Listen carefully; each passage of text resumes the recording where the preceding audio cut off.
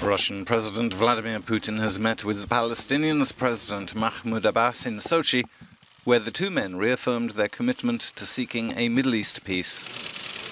It comes at a time of high tension in Israel with an ongoing hunger strike by 1,000 jailed Palestinians and no movement in the stalled peace talks. The Palestine-Israel conflict can only be a political negotiation-based solution based on international rights. I'd like to underline that the peaceful coexistence of two states of Palestine and Israel is the indispensable condition to provide true security and stability in the Middle East. Abbas brought up the issue of the thousand Palestinian prisoners in Israeli jails currently on hunger strike with Putin and briefed him ahead of President Trump's visit to Israel later this month. We believe that the fight against terrorism and extremism is an international responsibility.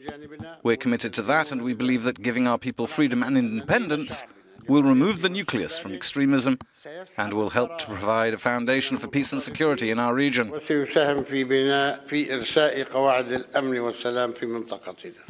On Thursday, Israel's UN ambassador criticized the attitude of the Palestinian Authority towards terrorists and their families, paying them compensation if attacked or killed by Israeli security forces.